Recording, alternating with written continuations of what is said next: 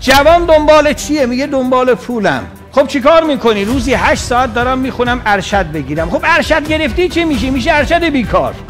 با دوز تنبلی بالا. یعنی هی داره زمان می‌خره برای جن زدن به عمرش. جایی که میری با جایی که می‌خوای یکیه. این مهمه. جایی که میری کجاست؟ مدرکه. جایی که می‌خوای چیه؟ پوله. آقا این نمی‌خونه که. تو داری اشتباه میری. باور کن من نمی‌دونم خیلی از همکاران مدرکشون چیه. خیلی هاشون از من نپرسیدم مدرک چیه. داداش ماشین چیه؟ ول کن.